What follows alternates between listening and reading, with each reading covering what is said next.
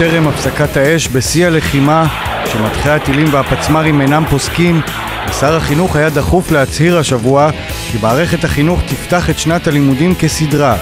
בהחלט מסר להורים, אבל גם החוצה אל האויבים, נימק השר.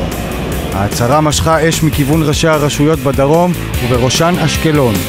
אמנם חלק ממוסדות החינוך בעיר ממוגנים, אבל איש לא רצה לקחת שם אחריות על פינוי מאות ילדים למרחב המוגן בזמן ההפסקה או בהסעות. ועד ההורים העירוני של אשקלון הודיע אז כי ישבית את מערכת החינוך בעיר.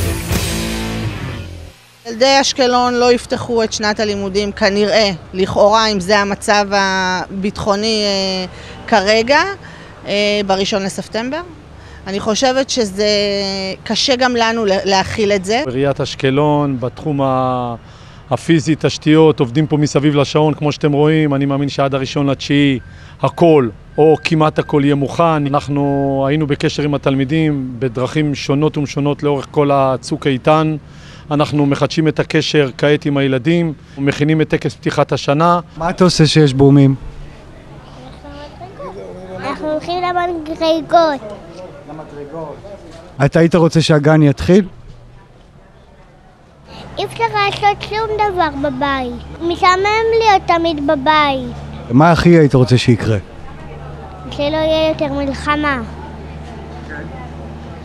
ושהגן יתחיל. אז נדמה כי פתיחת שנת הלימודים מיועדת יותר למורים, להורים, לפוליטיקאים ואפילו לאויבים, ורק לבסוף עבור הילדים. לאלה האחרונים מציע שר החינוך תוכנית הפגה מיוחדת למשך חודש עד בוא החגים. לילדים שמייחלים לשוב ולפגוש את החברים, להרגיש שוב נורמליים, מצפה חפרנות פדגוגית ותחינה של חוויות המלחמה, חוויות שחלקם היו רוצים מאוד לשכוח. יהיו ילדים שמאוד יהיו זקוקים לפתוח את ליבם ומאוד ירצו שידברו איתם על מה שהם עברו, ויהיו ילדים שפחות. והמורה צריך יותר עלי אחר כך לראות האם הדילוג נובע באמת מזה שזה חופר לו כמו שאתה אומר, או שבגלל שיושב עליו משהו כל כך קשה שהוא פוחד שאם הוא יפתח את הפה יתפרץ לו כזה בכי שהוא מתבייש בו. צוק איתן ייצר אתגרים נוספים למערכת החינוך לבד מפתיחת השנה. ביטויי הגזענות והשנאה מתחו את גבולות השיח הציבורי בזמן המלחמה וזיהמו אותו. אבל מה את עושה בכיתה שיש לנו כיתות כאלה בתיכון עירוני ד', בכיתה שיש בה ערבים, זה אני ואותו כרגע. ילד קם ואומר יאללה שכל הערבים תקשיבי. ימותו כבר. לא, אז אני אה, רוצה ויש להגיד לך. בכיתה ערבים. אז אני רוצה להגיד לך, אנחנו שואלים. אותו, אתה מתכוון שעבד ימות? בדיוק. אנחנו כמורים לא, אתה לא מתכוון להיסטוריה- שעבד ימות, אז מי כן? מי נגד מי, בדיוק מה זה שמאל, מה זה ימין, מה זה אומר עליי, איך אני מחליטה מה הזהות שלי. אמ, ואני חושבת שהם מאוד מאוד מבולבלים, וזה, יצא באמירות חד משמעיות. חד משמעיות. התלהמות היא לא רק בפייסבוק, היא גם אחד כלפי השני בכיתה.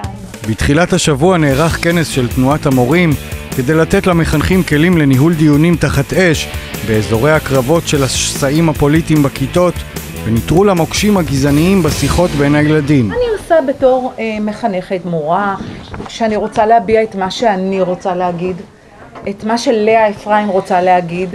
מה אני עושה עם זה? האם אני אומרת? האם אני שותקת?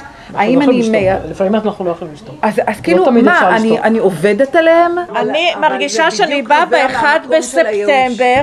לא, אני, אני רוצה להיות אופטימית, אבל זה לא שעת חינוך מלפני שנה ושנתיים. זה משהו שונה מה שקרה הקיץ. התחושה היא שחזרנו 30 שנה אחורה.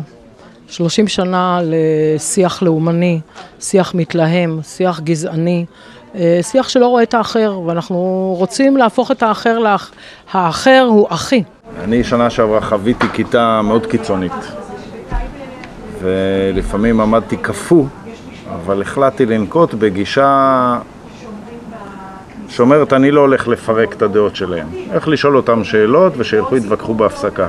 השיא היה בקבוצת הוואטסאפ שלנו כשאחד התלמידים העלה סרטון שבו מתפוצץ ערבי. ואני מאוד אה, הייתי נגד והורדתי את הסרטון. אחד המיזמים החינוכיים שנוצרו לאחרונה הוא חמ"ל השפיות. מיזם שמטרתו ליירט פוסטים ועמודים ברשתות החברתיות הנגועים בגזענות והתלהמות קיצונית, מתוך הבנה שזירת הרשת בלתי נשלטת לחלוטין, ומהווה אקס-טריטוריה למערכת החינוך. אנחנו צריכים ללמוד שהזמנים משתנים ואין לנו שליטה לא במציאות אה, ואם היינו חושבים בעבר שכל מה שקורה בכיתה זה מה שקורה במציאות, היום קל לנו לראות שזה לא כך. אה, ודברים שפעם היו אומרים פשוט שהיו יוצאים מבית ספר או בהפסקה, אז אנחנו פשוט יכולים לראות אותם ולקרוא אותם. אני חושבת שגם מצב של לחימה הוא מצב שמקצין הכל. אם, אם מורים מרגישים שהם לא יכולים להביא שיח אה, כזה לכיתה, זה חבל מאוד. מה קורה בגיל הזה לילדים? לא פשוט להם לקבל את השונה. הם שופטים את עצמם לפי המשקפיים הספציפיים נכון. שלהם. אין, אין, הם לא מוכנים להיות קשובים בכלל לדעות. זאת אומרת, אנחנו צריכים קודם להעביר אותם את התהליך. לראות את השונה. לראות, לקבל את השונה, להיות סובלני לשונה. ברגע שהם יהיו שם, אז נוכל גם להשמיע את הדברים. מעבר לצורך החינוכי בהפגתיות לילדים שנגזל מהם החופש הגדול, על משרד החינוך יהיה לגבות את המורים ולמגן אותם ביציאתם למערכה החינוכית, החשובה לא פחות מזו הביטחונית.